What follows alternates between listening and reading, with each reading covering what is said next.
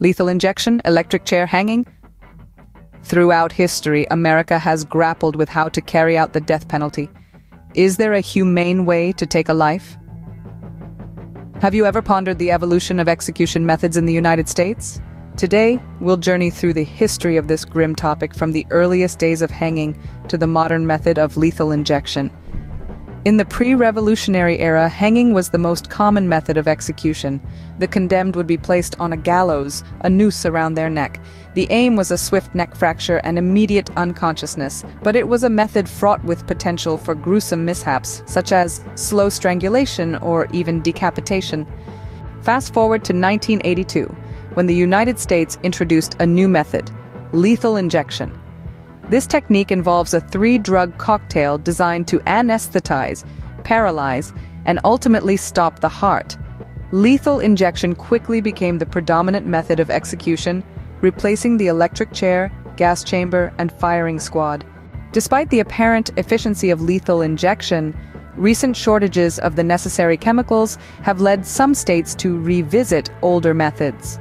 The electric chair, lethal gas, and even firing squads are seeing a resurgence as potential alternatives. The history of execution in the United States is marked by a continuous search for the most humane method.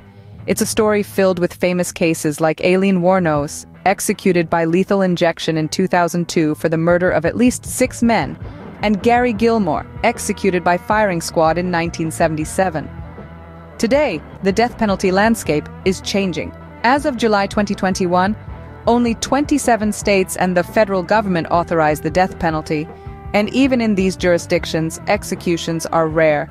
In fact, 13 states, along with the U.S. military, have not carried out an execution in over a decade.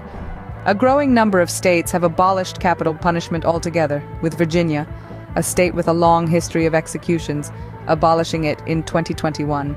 Public opinion on the death penalty has also shifted.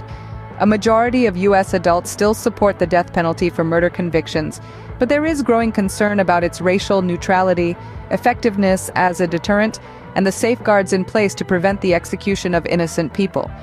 In conclusion, the history of execution methods in the United States is a complex narrative of evolving techniques, shifting public opinion, and ongoing debates about humanity and justice.